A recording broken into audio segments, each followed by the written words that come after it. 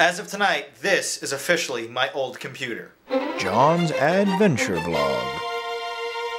Hello and welcome to Jon's Adventure Vlog. On today's special episode, I won't be leaving the apartment. Instead, I'm going to upgrade the bitch, the name I have so eloquently adapted for my computer behind me. We're going to take that apart, turn her off, and then take all of the glorious items in the in the boxes behind me there, and and we're going to fill her up with all sorts of new parts, and we're going to be talking about that in just a few minutes. And who's we? Well, who else could be holding the camera? Hello. Joey Hello. All right, Joe, are you ready for this?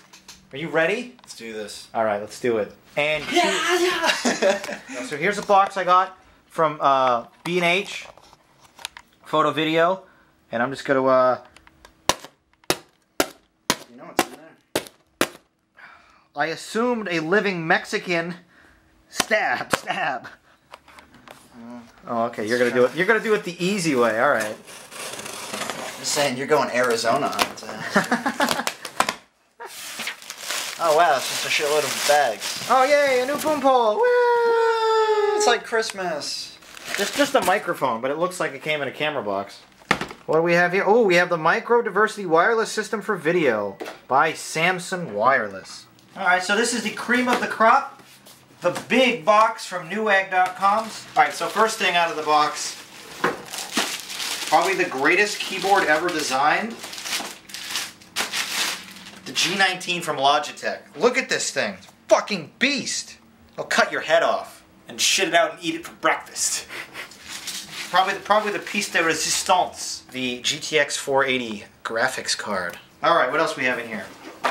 To go with that swanky new keyboard, I also picked up a Logitech gaming mouse G500. I think it's a nine-button mouse, which is really awesome. No, wait, nope, 10 button. It's a 10 button mouse. Six core Intel i7 Extreme Desktop 980 processor. All right, these two, these are our, our one terabyte and one terabyte hard drives, respectively.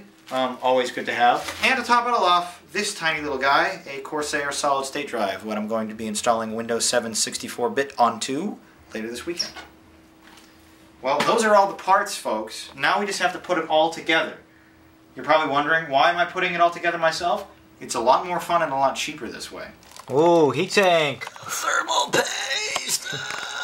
Giving yourself a hot thermal paste injection there. Yeah. All right, back in familiar territory, we got the uh, the bitch 3.0 opened up, ready to gutter innards yeah. and upgrade straight to the bitch 4.0. All right, so I wanted to show you something real quick before we install our new video card. This is the old video card, a Radeon 4870. Now this thing is a beefy motherfucker. I mean, this thing is like almost as big as my penis. This is like at least eight or nine inches in length. This is a big card. But then, when you compare And it has a fan too, just and, like and, your- yeah, just like my penis. It has a fan just like my penis. So then you compare it in size to the new one, the 480 GTX. dude. Don't touch it. Ah, ah. Look how big this is. Look at the look at the comparison there. Almost as big as my penis now. I mean, this is like an extra inch longer with a girth that's just like It's all veiny and shit. wow. This is pretty, isn't it? This is a sexy piece of hardware. If you're a geek, you're getting a hard on right now. Don't even deny it. I know Jory is. I can see it from here. Okay, so we've just installed the uh, the Intel i7 980. I just dropped it into place, and now I have my little thermal paste syringe, and we are getting ready to. I guess this is how it works. You just kind of throw it on there. I'm gonna have like surgeon hands for this shit. Thousand dollar piece of technology. Yeah, I think that's all of it. Okay. So now that all the thermal paste is, is squarely applied to the most expensive thing I've ever seen, we can now uh, go ahead and, and drop the heatsink on it. Uh, we got to take this guy off, right? Yeah. How are we gonna pop it back in? That's the real question. All right, so there you have it. That is the uh, the finished case. We have the new 980X and the GTX 480 video card in there, and of course, the hard drive bays are now completely full. We have I don't know the two new ones are in the middle slots, adding up to a ridiculous amount of hard drive space. And then you also have that. Oh yeah, and I also got you didn't you didn't see that on the video, but the uh, HDMI capture card so I can go from the, the HMC camera directly into the computer live. Alright, so we put it back together. The Bitch 4.0 officially ready to rock and roll. Um, let's see if this shit works. Hey, we got it to work. Oh wait, what the hell is this? Startup repair. Oh, son of a bitch. Well, there you have it. That's most of the upgrades uh, for the Bitch 4.0.